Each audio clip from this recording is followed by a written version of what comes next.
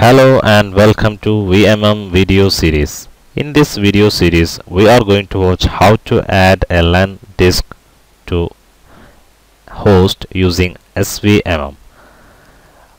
I have one SCVMM server, one iSCSI target, one domain controller and one host Windows Server 2012 R2.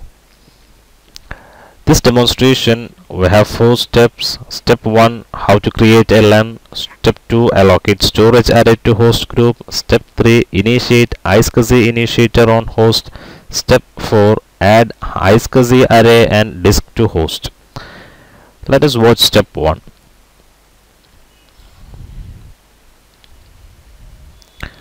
Following are the iSCSI targets that we added before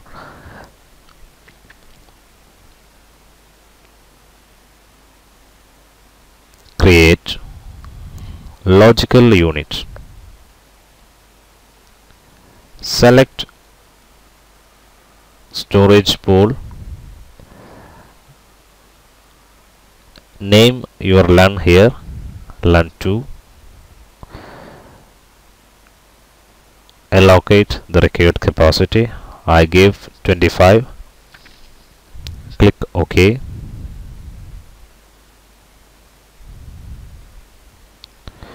now you can see the LUN is created and that is not assigned to any host.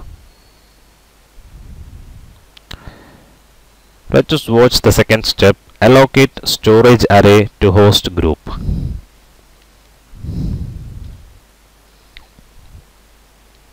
Allocate capacity select host group and allocate logical units. Now you can add the logical unit that you created in this previous step. Click OK. Close the tab.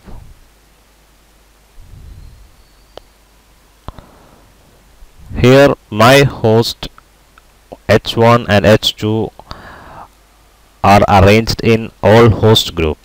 And if you have any different group you have to choose that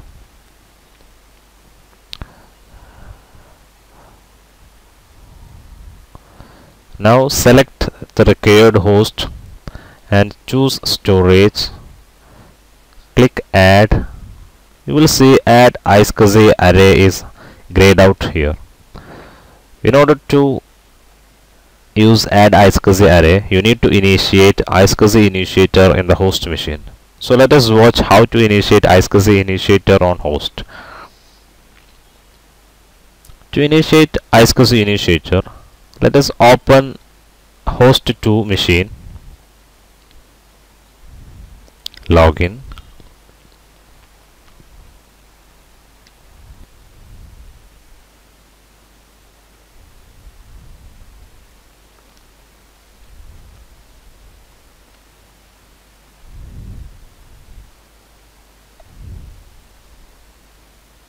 Click tools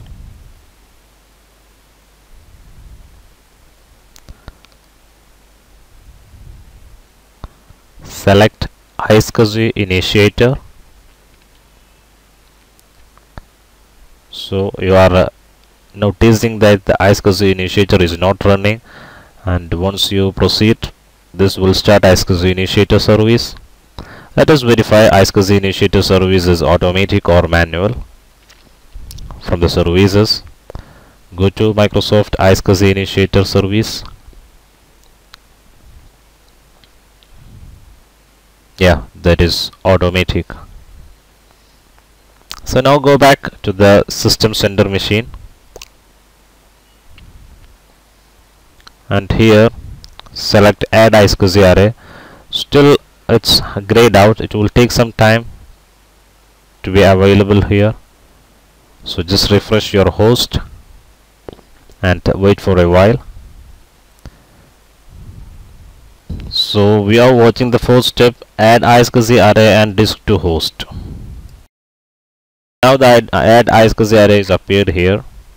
So just click select the array and select the target portal and initiator IP create.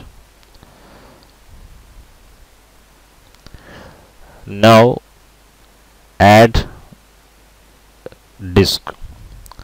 This will add the 25 GB LUN that we created and allocated in the previous step.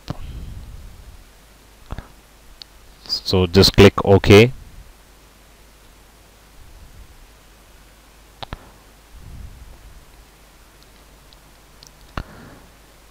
So now when you open storage under fabric you can see the logical unit now is assigned. So that is all in this video series. For more videos visit neasitpro.com or subscribe my youtube channel tech